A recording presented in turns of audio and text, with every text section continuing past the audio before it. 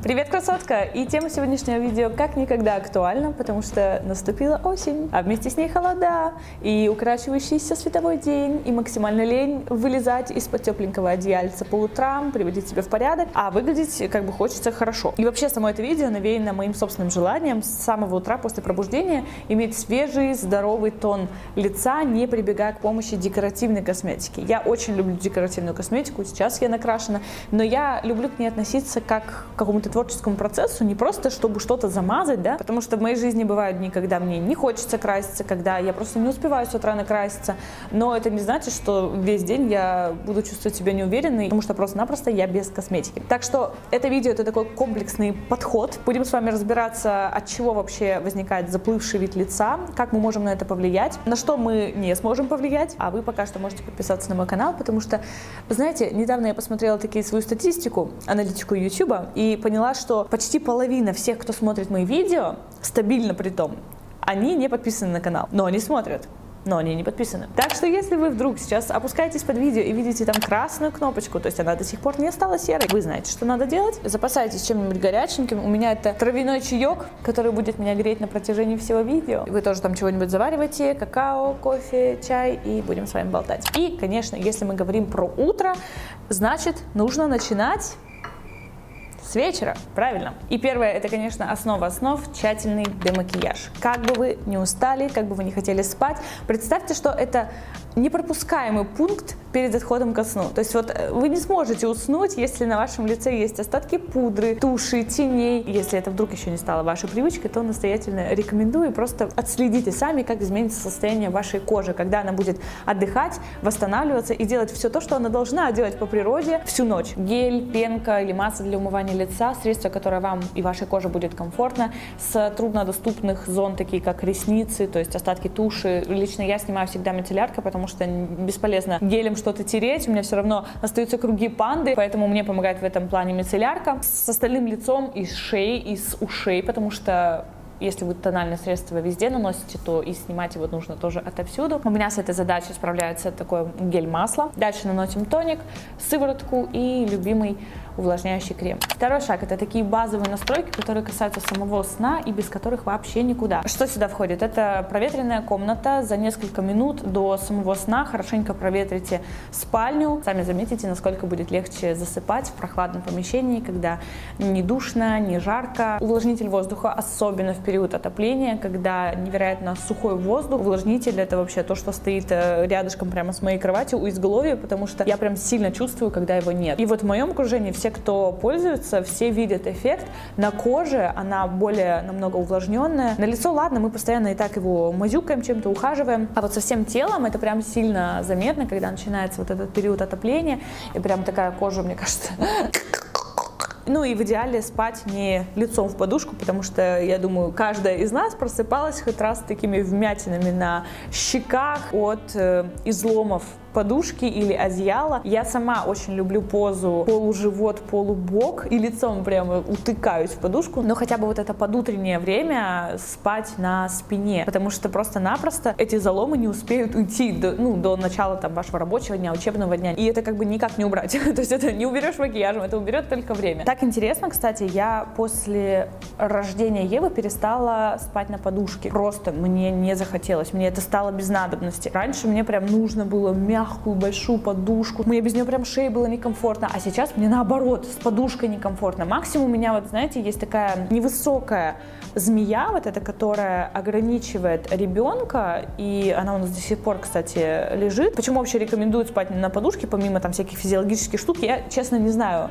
маркетинг это или нет, вот эти ортопедические всякие подушки, кому как комфортно. Я всегда смотрю по своим ощущениям, мне вот эти ортопедические подушки вообще неудобны. Мне нужно, чтобы небольшой был подъем, и получается вся жидкость, которая есть в организме, она не будет скапливаться в лице. Потому что если спать вообще вот так, то есть вероятность того, что лицо будет немножко отекшим с самому утру. Поэтому я все равно сплю на небольшом возвышении. Третий шаг касается выпитой нами воды. И здесь я не буду говорить о том, что надо пить воду. Я скорее хочу развеять миф, о котором часто говорят, почему люди наоборот не пьют воду. Типа за 4 часа до сна не нужно вообще пить воду, потому что лишняя жидкость накопится и будут типа с утра мешки под глазами. все на золотой середине, как всегда, потому что если наоборот не пить достаточное количество жидкости, особенно реально, когда ты хочешь, у тебя жажда, и ты такой, нет, не буду пить, потому что будут а, отеки. В большинстве как раз таки случаев отечность лица, ног, вообще в целом в теле, она связана с тем, что организму недостаточно воды. В результате чего лимфа густеет и застаивается в виде отеков. Это не означает, что перед сном нужно пить 2 литра воды. Скорее здесь просто, опять же, на свои ощущения смотрите. Банально, если вам хочется пить, если у вас есть жажда, надо пить. Но вот что точно влияет на отечность, это соленая пища по вечерам, потому что организму нашему нужно очень много воды, чтобы избавиться от этой соли. Если это сделано перед сном, то ему часто просто не хватает этого времени, и с утра можно проснуться с отеками. Так что, окей, там соленые огурцы, рассолы на ночь не обязательно пить, но лишать себя воды, особенно если у вас есть жажда, не надо. И вот четвертым пунктом мы наконец подбираемся к самому эффективному, самому действенному. И вот вы с утра проснулись. Если вы все сделали до этого утра правильно, у вас там увлажненный воздух, вы снимаете макияж, увлажняете свое лицо, спите не уткнувшись подушкой, у вас нет каких-то заломов, то в принципе с утра можно иметь уже неплохой результат. И мягко переходя из прошлого пункта про лимфу, мы поговорим про лимфодренажный массаж с самого утра. Но не пугайтесь, когда люди слышат массаж, это сразу же, а, долго у меня нет на это времени,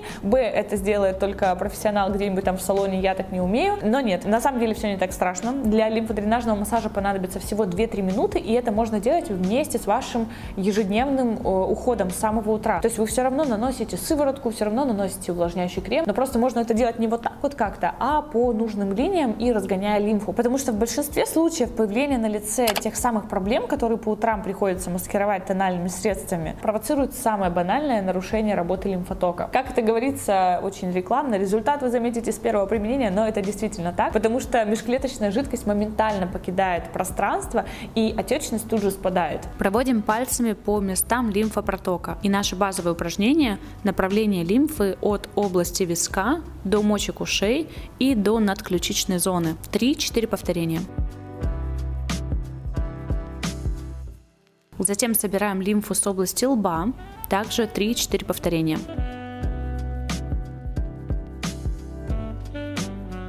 Продолжаем с областью вокруг глаз. Тут следите за правильным направлением. Мы начинаем с внешнего края и двигаемся к переносице, а не наоборот. И снова наше классическое упражнение к мочкам ушей и к ключицам.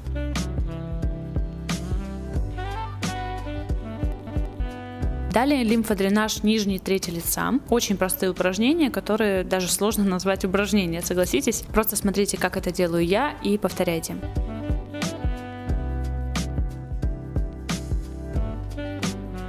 И общее предфинальное движение. Обратите внимание на положение моих пальцев. Собираем лимфу со всех тканей лица. И завершить массаж можно легкими похлопывающими движениями по тем же массажным направлениям. Моя ежедневная ежевечерняя уходовая линейка уже давно от Дальба. Я познакомилась с этой маркой. Вот этот спрей — это вообще любовь. У меня уже вторая банка уходит. Несмотря на то, что уходит, кстати, не так быстро, но просто я уже достаточно долго им пользуюсь. Это спрей серум, который можно использовать во время нанесения макияжа, после, до и в качестве уходового продукта, потому что это именно как сыворотка работает, э, знаете, для ленивых максимально. Вообще не нужно на себя ничего носить, просто так сбрызнул. Но начинаю я, конечно, не сыворотки, это так, просто мой любимый продукт. Начинаю я с вот такого масла для очищения лица, очень бережно, без какого-либо скрипа. Расходуется, кстати, тоже очень долго. Одно нажатие, и вообще этой капелюшечки хватает на все лицо и на шею. Не забывайте про шею. И мне очень нравится их солнцезащитный крем